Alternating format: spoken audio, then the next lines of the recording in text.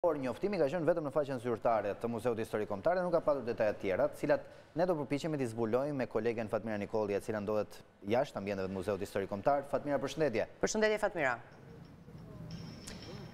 Përshëndetje, siç e thatë dhe ju, sot rreth orës 12 përmes një njoftimi në faqen zyrtare në Facebook të Muzeut Historik Kombëtar, është dhënë njoftimi që muzeu do të mbyllet për 4 vite për shkak të një procesi restaurimi të cilit muzeu duhet t'i nënshtrohet.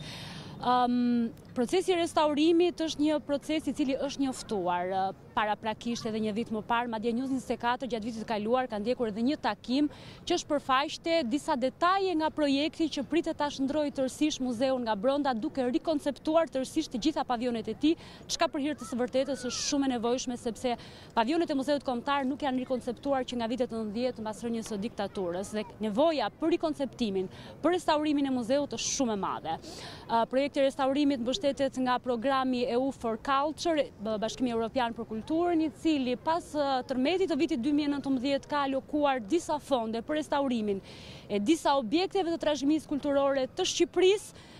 duke dashur të rindërtojë dhe të riruajë këto monumente pas dëmeve që u dhanë nga tërmeti. Problemi i njoftimit të sotshëm është vetëm ky që njoftimi është dhënë vetëm në faqen zyrtare të Facebookut dhe njoftimi në fakt nis për të njoftuar jo publikun shqiptar, por për të njoftuar agjencitë turistike, çka do të përbënte një problem sepse Një institucion kombëtar siç është muzeu duhet paraprakisht të njoftojë qytetarët e Republikës së Shqipërisë, shtetasit shqiptarë dhe mbase njoftimi duhet të kishte ardhur pikërisht nga Ministria e Kulturës, Inovacionit dhe Ekonomisë dhe jo përmes njoftimi zyrtar, çka lë shumë pak kohë edhe publikut për t'u përgatitur edhe për të njoftuar për ndryshimet dhe mbylljen e muzeut për një afat kohor katër vjeçar që do të jetë mëse i nevojshëm për të kaluar në gjithë procesin e restaurimit që është prezantuar përmes projektit të vitit të kaluar. Aktualisht ne